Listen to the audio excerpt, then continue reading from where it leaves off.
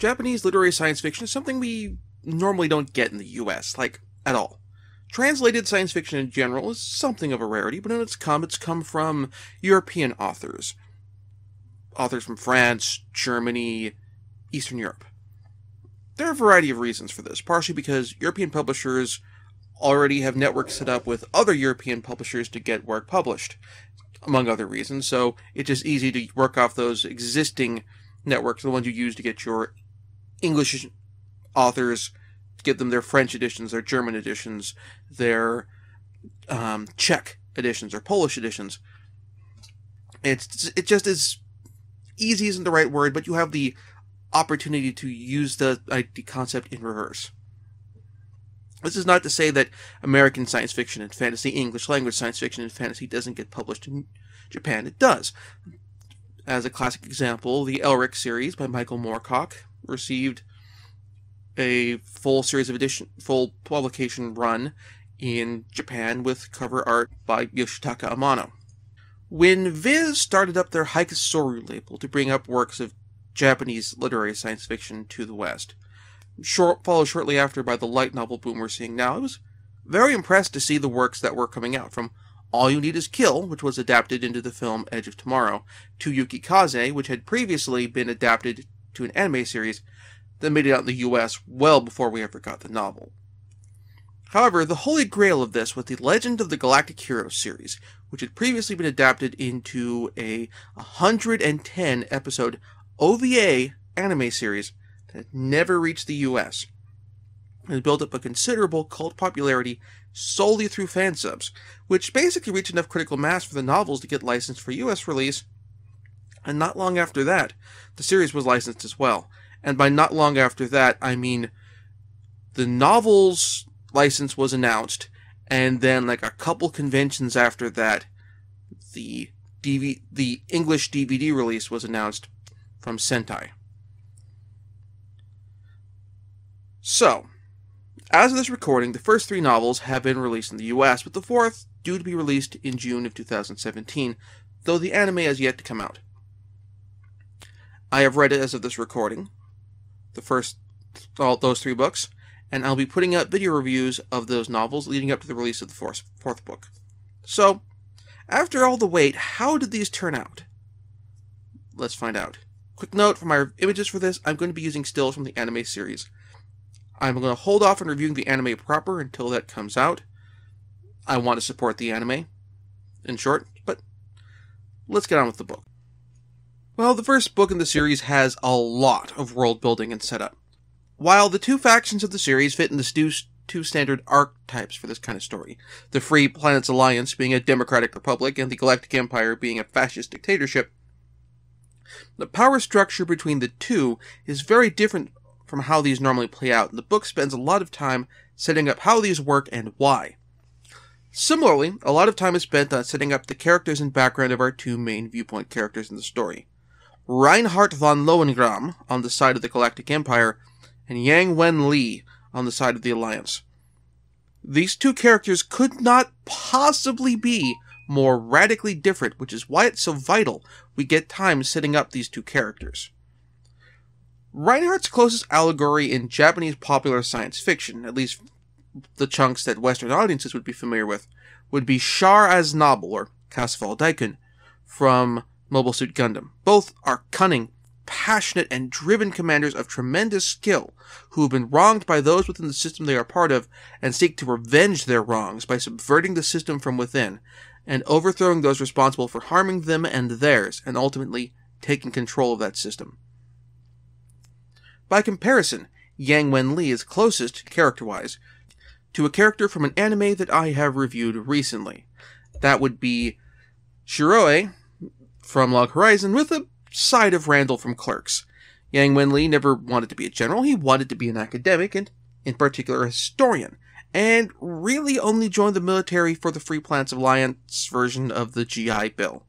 Instead, Wenli ended up repeatedly, either through the world's greatest luck or the world's worst luck, be- being the right person at the right time to clean up numerous other people's mistakes, ultimately repeatedly succeeding in the face of overwhelming odds, either by overcoming superior forces or by turning a rout into a more orderly, less destructive retreat. This leads both men to meteoric rises in their respective militaries. And over the course of this book and their various successes, we see how, how well the two men fight war and get a pair of near conflicts between the two, setting up a future head to head battle that is yet to come. We see this growth as characters over three major engagements over two campaigns. The first is a battle between Alliance forces that, due to some confusion and the deaths of officers above him in the chain of command, leads to Yang gener- turning a defeat into what can generously be defined as an informal and unspoken agreement for both sides to kind of withdraw and try again later. The second is the contra- conquest of Iserlohn Fortress, a fortress world, duh, constructed and run by the Galactic Empire. And it's placed on the only navigable route in between the two sides, which Yang takes with a force that is too small for the job and with a minimum of bloodshed. This highlights some of Admiral Yang's tactical style. His style is sort of judo esque, aiming for the maximum results with the minimum of effort, and the and with that the minimum loss of life on both sides, usually by using the strength and tactics of the opposing force against them. Consequently, Yang takes any losses his forces suffer, and even some of the losses that he inflicts on the enemy, rather personally, which leads to Admiral Yang becoming an alcoholic over the course of the series, starting in this book. This leads to our last major engagement. The Alliance, having seized Iserlohn and with it the Iserlohn corridor between the Alliance and the Empire, decides to go on the offensive for the first time in this war, and they quickly exceed their grasp in terms of their reach, logistically exceeding their grasp. And they're forced to withdraw due to a series of attacks by Imperial forces against their supply lines, with once again Yang Wenli turning the battle from a rout to a more orderly withdrawal. This in turn leads to our contrast with Reinhard von Lohengramm. Reinhard is a more pragmatic commander.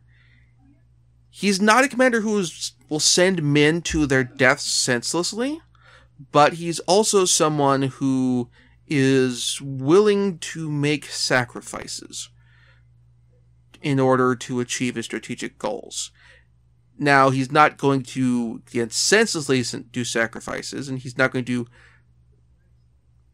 send people who are valuable to their deaths. He understands the loss of the, the weight of loss of life, and that sort of thing. But he's also someone who is going, who is willing to fight a much more brutal battle and is willing to inflict much heavier casualties on an opponent in order to utterly break and destroy their forces, their will to fight, and their ability to fight ideally for him, his style is to outmaneuver his opponent so he can obtain a big, crushing victory to demoralize his opponents in subsequent engagements, which we see in this book and will come up again in the next book. Now, we also see the two admirals through their aides and second in commands. For Reinhard, there is his childhood friend and second command, Siegfried Kircheis, who also shares Reinhard's ambition and ultimate aims in terms of changing the political system of the empire from within. For Yang Wen Li, there is his ward and de facto Batman, in the British military sense, and aide de camp, Julian Mintz. Siegfried serves as something of a conscience and cooling rod for Reinhard's more bloodthirsty impulses, while still sharing their common goal. In particular, Reinhardt's sister and Siegfried's crush, Anne Rose, was, for lack of a better term, sold into an arranged marriage with the Emperor, Kaiser Frederick IV, in order to get Reinhard's family out of debt. This, this sale was done by Reinhard's father. While this elevated Reinhard's family to the aristocracy, Reinhard never forgave his father for this decision, and this moment basically is what laid the seeds for uh, Reinhard and Siegfried's resentment of the aristocracy. Julian, on the other hand, is more of a sounding board, giving Yang more of an opportunity to explain his line of thinking out loud, both in terms of Yang's strategic plans and in terms of Yang's philosophical views. You get this partially through the fact that Julian, on the one hand, wants to emulate his adoptive father, who worships the ground he walks on, even though he knows that were it not for Julian, Yang would be a slovenly alcoholic mess. But as part of this, Julian wants to join the military to follow in Yang's footsteps, and that's something Yang doesn't want at all. And whenever this comes up, Yang takes this op- takes the opportunity to kind of try and talk his adoptive son out of this path. By contrast, Yang really, really wants to be out of the military, and his dream is to somehow just piss off the brass so much that they drum out of the service in a way that lets him keep his pension so he can write, retire, and write history books. But he knows if he was not in charge in many of these engagements, a lot more people would have died, the empire would have taken over, and if, well, Yang could have done something to prevent all those deaths. They would linger on his conscience. Conscience. This comes up more in the second book, but the themes are introduced here. This leads to the prose of the story itself. Author Yoshiki Tanaka's style of writing is somewhat stilted and something of an acquired taste. He tells the story in an almost spoken fashion, with points getting brushed over, or conversations getting summarized to the high points, like you do if you're recounting a series of events verbally to someone, as opposed to transcribing it or putting it in writing for prose form. Now, I read the first book in print, and while I own the other two books as print editions as well, I listened to those the second and third books as audiobooks through Audible. While I get into the meat of the narrative of those books later, I will say as an audiobook, those two books flow better read to you than they does on the page. It's an interesting point thinking about this because when you read and you listen to advice about writing, some of the universal advice they give. This is go to conventions and hear writers talking about the writing process, or if you're taking writing classes in college or whatever, what have you.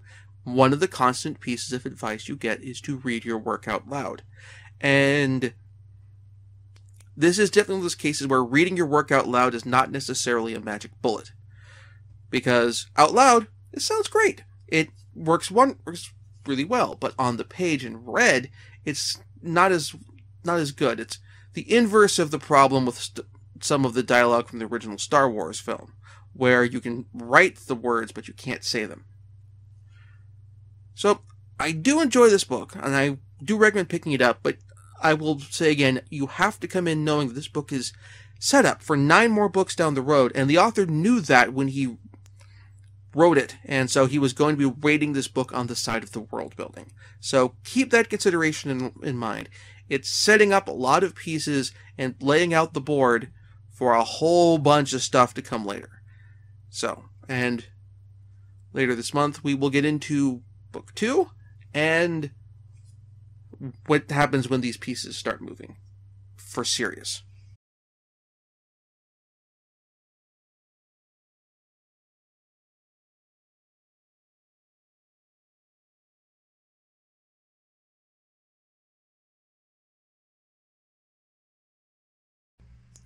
Thank you very much for watching. If you enjoyed the show, please like this video and subscribe to the channel to be notified when new videos come out. If there's something in particular you'd like to see me cover, or just want to get your name in the credits, or otherwise help the show, please support my Patreon. Once again, thank you very much for watching, and we'll see you next time.